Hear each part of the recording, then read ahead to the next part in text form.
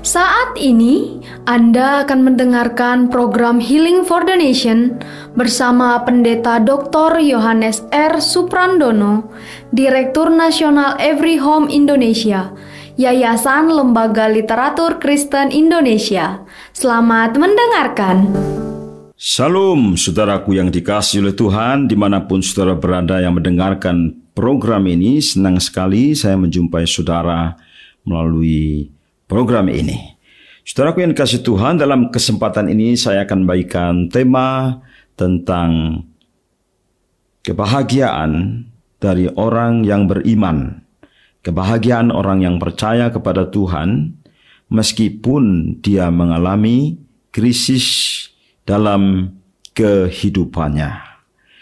Pada zaman dahulu, saudaraku yang dikasih Tuhan, kota-kota yang besar dibangun di dekat sungai-sungai yang besar. Peradaban dunia dibangun di dekat sungai-sungai yang besar.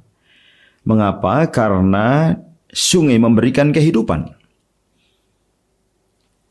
kebutuhan rumah tangga, kebutuhan pertanian, dan daerah-daerah yang dekat sungai adalah daerah-daerah yang subur, sehingga peradaban-peradaban dibangun di dekat sungai.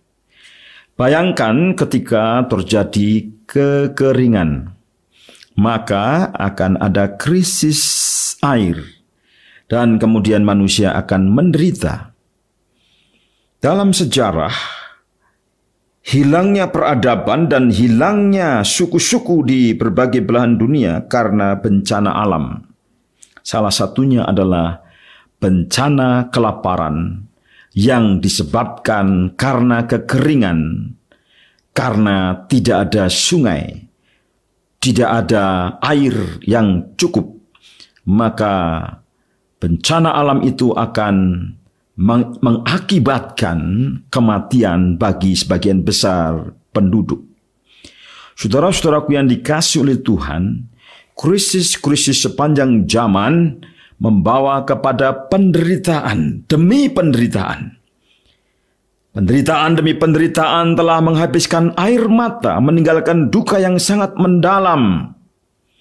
Saudara, peperangan antara Israel dan Hamas diperkirakan ada 100 ribu orang yang mati di sana sebagai akibat daripada peperangan itu. Belum di berbagai tempat yang lain, peperangan, bencana alam, dan berbagai-bagai sebab karena kejahatan manusia maupun kejahatan alam ini, maka banyak orang yang meninggal, menyisakan penderitaan yang sangat mendalam. Pertanyaannya adalah apakah dalam situasi yang seperti itu Allah masih peduli dengan manusia? Bagi kita orang yang percaya, krisis-krisis yang terjadi dalam hidup kita dapat membawa kepada proses pendewasaan, dapat membawa kepada proses pengenalan akan Tuhan, ada hikmat di balik semua yang terjadi. Tetapi bagi orang-orang yang tidak percaya, hal itu akan mengeraskan hatinya sehingga mereka semakin tidak percaya. Allah tidak peduli dengan saya. Allah tidak memperhatikan saya. Allah tidak tahu tentang kehidupan manusia. Dan karena penderitaan demi penderitaan itu Allah ditinggalkan seolah-olah Allah tidak ada bagi manusia. Tetapi bagi orang yang percaya, seorang yang bernama C.S. Lewis pernah mengatakan bahwa Tuhan berbicara melalui penderitaan kepada telinga manusia yang sudah tuli. Allah mengajarkan kepada kita orang yang percaya melalui krisis dan penderitaan yang kita alami. Sesungguhnya Tuhan sedang menguji kita, Tuhan sedang menghajar, mendidik, mendisiplin kita agar kita sebagai anak-anaknya menjadi anak-anak yang taat. Kemudian melalui ketaatan itu akan bertumbuh menjadi orang-orang yang dewasa rohani dan semakin sempurna serupa dengan gambar anaknya yaitu Yesus Kristus, kita akan bertumbuh ke arah Dia. Mari kita perhatikan kehidupan seorang hamba Tuhan yang bernama Elia. Elia yang terdapat dalam satu Raja-Raja pasal 17 ayat 1 sampai 6. Firman Tuhan mengisahkan hidupnya demikian. Elia dari El dan Yah. Artinya dari namanya bahwa yang maha kuasa adalah Tuhan. Firman Tuhan demikian lalu berkatalah Elia orang Tisbe dari Tisbe Gilead kepada Ahab. Demi Tuhan yang hidup Allah Israel yang kulayani. Sesungguhnya tidak akan ada embun atau hujan pada tahun-tahun ini kecuali ku katakan. Kemudian, kemudian datanglah firman Tuhan kepadanya, Pergilah dari sini, berjalanlah ke timur dan bersembunyilah di tepi sungai Kerit, di sebelah timur sungai Yordan. Engkau dapat minum dari sungai itu, dan burung-burung gagak telah kuperintahkan untuk memberi makan engkau di sana. Lalu ia pergi dan ia melakukan seperti firman Tuhan. Ia pergi dan diam di tepi sungai Kerit di sebelah timur sungai Yordan. Pada waktu pagi dan petang, burung-burung gagak membawa roti dan daging kepadanya, dan ia minum dari sungai itu. Saudaraku yang dikasih oleh Tuhan, pertanyaan yang penting untuk kita renungkan adalah mungkinkah orang yang mengalami kekurangan, kekeringan, tidak ada hujan, ujian dan penderitaan bisa tetap mengatasi masalah hidupnya, bisa tetap berbahagia dan tenang. Dari kehidupan Nabi Elia ini kita melihat bahwa orang yang percaya kepada Tuhan akan tak berbahagia. Orang yang percaya kepada Tuhan akan bisa melewati penderitaannya. Bahkan ketika dia sedang dalam penderitaan pun dia melihat tangan Tuhan. Tangan Tuhan menjadi kelihatan dan semakin nyata. Saya dan saudara kita semua ketika kita ada dalam penderitaan dan krisis-krisis kehidupan, dalam fase-fase kehidupan kita, dalam tahapan-tahapan kehidupan kita, dalam lingkaran-lingkaran kehidupan yang bergolak, yang ber bergulir terus-menerus. Krisis-krisis yang menerpa kita, menempah kita, dan itu akan membawa kepada kita, kepada jalan keluar, dan kepada kemenangan, dan kepada hidup yang menjadi berkat. Apakah rahasianya yang pertama? Elia memandang Tuhan. Dia percaya bahwa segala sesuatu terjadi dengan seizin Tuhan. Dia mengakui Tuhan semesta alam yang berkuasa atas sungai, atas gunung, atas laut, dan seluruh semesta alam. Tuhan yang hidup Allah Israel, Allah yang diakui di Israel. Dia mendengarkan suara Tuhan, dia dengar suara Tuhan, dia dengar suara dan dia melangkah dengan iman. Dia percaya kalau Tuhan berbicara untuk ditaati, bukan untuk dibantah. Dan saudaraku yang dikasih oleh Tuhan, dia menyadari keadaannya, dia menyadari dirinya, dia menyadari kelemahannya, dan dia mau percaya kepada Tuhan sepenuhnya. Hidup yang lama ditinggalkan, yang penuh dengan ketidaktaatan karena ketidaktaatan adalah dosa dan dia metanoia berubah pikiran dia berbalik epistrepo berpaling kepada Tuhan. Dia mendengar suara Tuhan dan saudara yang kasih Tuhan dia melakukan pekerjaan-pekerjaan dia melakukan perintah-perintah dia melakukan kegiatan apa saja yang sesuai dengan buah pertobatannya itu buah kepercayaannya itu kepada Tuhan. Saudaraku yang dikasih oleh Tuhan, jikalau kita ada dalam krisis, mari kita belajar dari tokoh Elia. Kita belajar dari tokoh Elia di dunia yang ada penderitaan, ada kekeringan, ada kehampaan, ada kegagalan, ada kekosongan, ada meaningless. Kita belajar memang penderitaan adalah A sampai Z-nya kehidupan, artinya bahwa penderitaan itu meliputi kehidupan kita secara terus-menerus.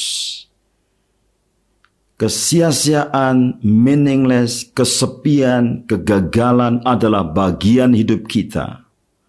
Dari awal sampai akhir. Dari Alef sampai Tau. Dari Alfa sampai Omega. Artinya kehidupan kita diwarnai oleh penderitaan itu selama kita dalam dunia. Tetapi di saat seperti itu kita bisa panggil nama Tuhan. Saat panggil nama Tuhan ketika kita mengalami kekeringan, penderitaan, kegagalan, kekalutan, kekacauan. Kita bisa berseru kepada nama Tuhan kara.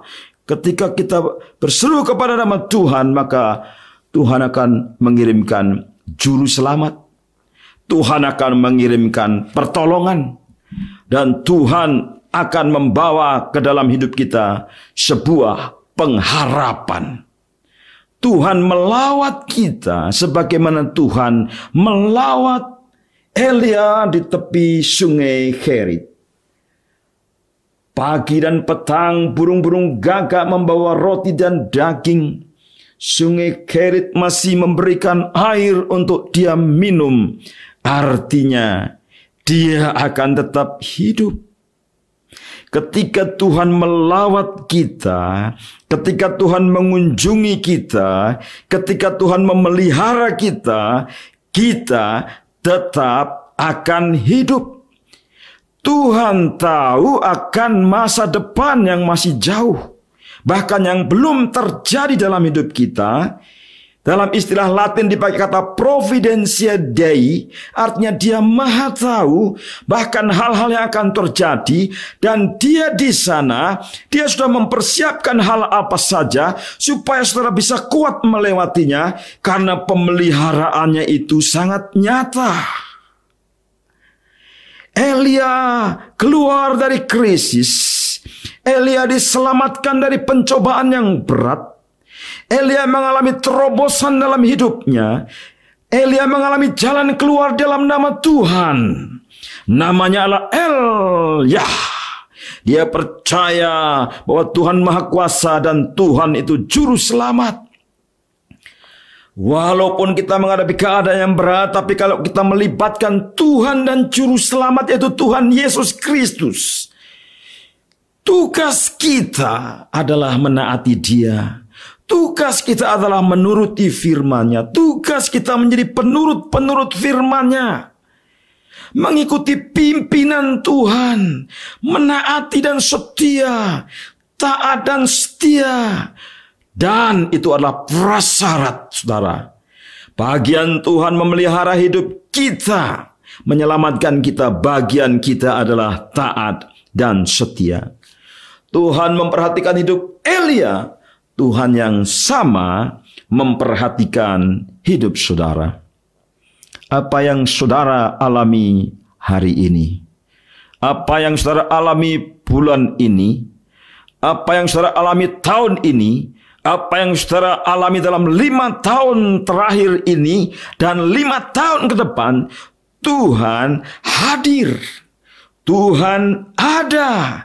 Tuhan memperhatikan. Saudaraku yang dikasih oleh Tuhan ada seorang ibu baru-baru ini dia menyaksikan bagaimana dia menderita penyakit, penyakit, penyakit dan penyakit yang menurut kata dokter tidak ada obatnya, belum ada obatnya. Dia pergi ke luar negeri, ke Australia, ke Singapura dan dia mencari dokter-dokter yang spesialis, belum ada obatnya. Tapi suatu hari dia datang kepada Tuhan Yesus dan Tuhan menampakkan diri kepadanya walaupun dia tadinya belum percaya kepada Tuhan. Dan kemudian ketika dia menengok Yesus, melihat Yesus di tengah-tengah penderitaannya itu, dia menemukan Yesus yang mau mengulurkan tangannya. Di dalam nama Yesus ada kesembuhan. Saya melayani pelayanan healing for the nation, mendoakan orang-orang yang sakit dan ada banyak kesaksian bagaimana orang yang sakit disembuhkan secara kodrati maupun adikodrati, secara natural maupun supranatural. Tuhan yang menyembuhkan dengan caranya, dengan waktunya, dan akan memakai alat-alatnya dan hamba-hambanya. Dan Tuhan yang sama memelihara hidup kita hari ini. Dan akan memelihara hidup kita 10 tahun mendatang. Haleluya. Elia mengenal Allah yang hidup, Allah yang benar. Allah yang memelihara. Allah yang memedulikan. Dan saudara kasih Tuhan akhirnya Elia karena pengalamannya itu, pembentukannya yang luar biasa itu dia bisa keluar di saat krisis dan dia menjadi berkat. Dia ketemu dengan seorang janda di Sarfat dan kemudian terjadi dua mukjizat di sana. Yang pertama, tepung dalam tempayan tidak habis dan minyak dalam buli-buli tidak kurang. Itu terjadi mujizat dalam janda Sarfat yang percaya dan anak perempuan Sarfat dibangkitkan dari kematian. Haleluya. Dan kemudian dalam satu Raja-Raja 18 kemudian dia membawa kabar baik. Hujan ke atas muka bumi. Kabar baik dia bawa. Orang-orang yang disembuhkan, orang-orang yang diselamatkan, orang-orang yang ditolong Tuhan, orang-orang yang disertai Tuhan, ada kabar baik bahwa Tuhan yang sama akan memberikan jalan keluar bagi pergumulan kehidupan manusia di zaman sekarang. Saudara adalah pembawa kabar baik seperti Elia ketika saudara sudah mengalami pertolongan Tuhan. Saksikan apa yang Tuhan lakukan dalam hidup saudara. Saya melatih supaya orang-orang yang saya layani belajar bersaksi. Bersaksi apa yang Tuhan lakukan, apa yang terjadi dalam hidupnya, apa yang Tuhan lakukan, dan bagaimana Tuhan menolong dan memberi kemuliaan bagi Tuhan. Saudaraku yang dikasih oleh Tuhan, Allah sanggup memberikan hujan ke atas bumi. Allah sanggup menyiram bumi yang kering kerontang. Allah sanggup mencurahkan berkat-berkat yang berlimpah. Tingkap-tingkap langit dibukakan dan berkat-berkat dicurahkan. Puji Tuhan. Saudara, mari bawa kabar baik. Beritakanlah firman dalam keadaan baik tidak baik. Tegurlah, nasihatilah orang-orang supaya orang-orang semakin mengenal Allahnya Elia, Allah kita yang kita kenal dalam Yesus Kristus. Saya percaya bahwa Yesus Kristus bukan hanya milik sebagian besar, sebagian kecil, tetapi milik semua orang yang membutuhkan keselamatan. Seperti air yang mengalir, air yang jernih, air yang segar dibutuhkan oleh seluruh umat manusia. Demikian keselamatan yang mengalir dari tahta Allah dibutuhkan oleh semua manusia mengalir, mengalir dan mengalir kasih Allah melalui Yesus Kristus. Oleh kematiannya di atas kayu salib ada kehidupan yang ditawarkan oleh kematiannya diikuti oleh kebangkitannya ada pengharapan yang ditawarkan. Saudara, pertanyaannya kemudian, mungkinkah orang yang mengalami kekeringan, yang mengalami kekurangan, mengalami penderitaan, mengalami ujian bisa berbahagia? Mungkin karena Tuhan Yesus sudah mati dan bangkit. Dia hidup, dia berkuasa di sorga dan di bumi. Dan dia menyertai orang yang percaya janjinya. Aku sekali-kali tidak akan meninggalkan engkau. Aku sekali-kali tidak akan membiarkan engkau. Akulah Tuhan yang menolongmu. Percaya kepada Tuhan. Tidak ada yang mustahil bagi Tuhan. Tidak ada yang mustahil bagi orang orang yang percaya kepada Tuhan. Saya berdoa supaya di minggu-minggu Paskah ini saudara bisa menghayati bahwa penderitaan apa pun ketika kita pandang Yesus ada keteduhan, ada pendamaian, ada perdamaian, dan ada damai sejahtera di dalam Tuhan Yesus Kristus. Tuhan memberkati saudara, memberkati keluargamu, memberkati orang-orang yang kau kasihi, memberkati orang-orang di sekitarmu, orang-orang di kota ini yang dikasih oleh Tuhan.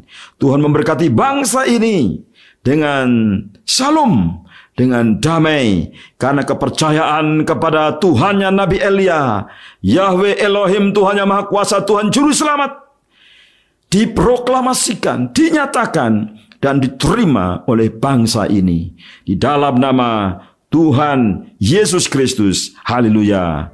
Amin. Anda baru saja mendengarkan program Healing for the Nation bersama Pendeta Dr. Yohanes R. Suprandono. Jika Anda membutuhkan traktat, buklet, kursus Alkitab tertulis, dapatkan secara gratis dan cuma-cuma.